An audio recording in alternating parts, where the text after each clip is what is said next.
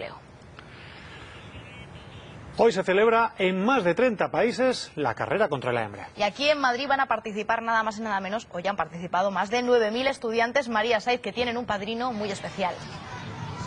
Fijaros con qué entrega están corriendo todos estos alumnos del Colegio Fuente la Reina. Un total de 600 alumnos participan en la decimoctava carrera de acción contra el hambre. Se celebra hoy hasta en 30 colegios de diferentes continentes. Solamente en la Comunidad de Madrid participan 9.000 estudiantes. ¿Y cómo lo hacen? Pues primero tienen que encontrar un patrocinador, una madre, un abuelo que les dé dinero por cada vuelta que hagan. Muchos nos han contado que su objetivo es dar hasta más de 30. Es su pequeño granito de arena en esta carrera de acción contra el hambre.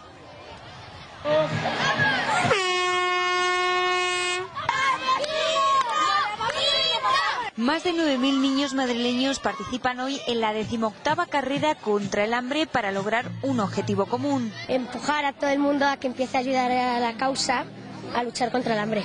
Una carrera que se celebra de forma simultánea en escuelas de cinco continentes y que ha llenado el patio del Colegio Fuente la Reina de jóvenes atletas solidarios. Somos 600, desde quinto de primaria hasta primero de bachiller estamos participando. Todos ellos lo que hacen es eh, conseguir una serie de patrocinadores que les eh, patrocinan, por así decirlo, eh, bueno, pues cada una de estas vueltas que, como veis, se están dando hoy. Es decir, cada patrocinador les da una pequeña cantidad por cada una de las vueltas. ¿A ti quién te patrocina?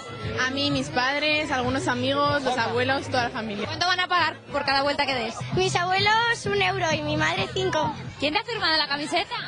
Jesús Carballo. El medallista olímpico se ha convertido en padrino de esta acción. ¿Cuántas camisetas has podido firmar hoy?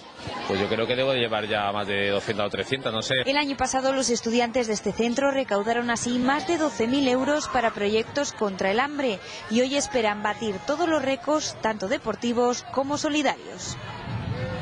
Y otra carrera, pero esta